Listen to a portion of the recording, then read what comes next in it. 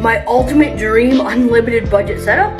Let's dive into it. For espresso, we're gonna go with the La Marzocco Linea Mini, great espresso machine. I'm gonna pair that with a niche grinder for it. Next up, I'm gonna have the Acaia Pearl Scale, which I actually just added. And then for everything else, I'm gonna stick with my current setup, the Ratio 6, the Fellow Ode Grinder, the Fellow Stagg EKG Plus Bluetooth Kettle, and a Chemex. I like my setup.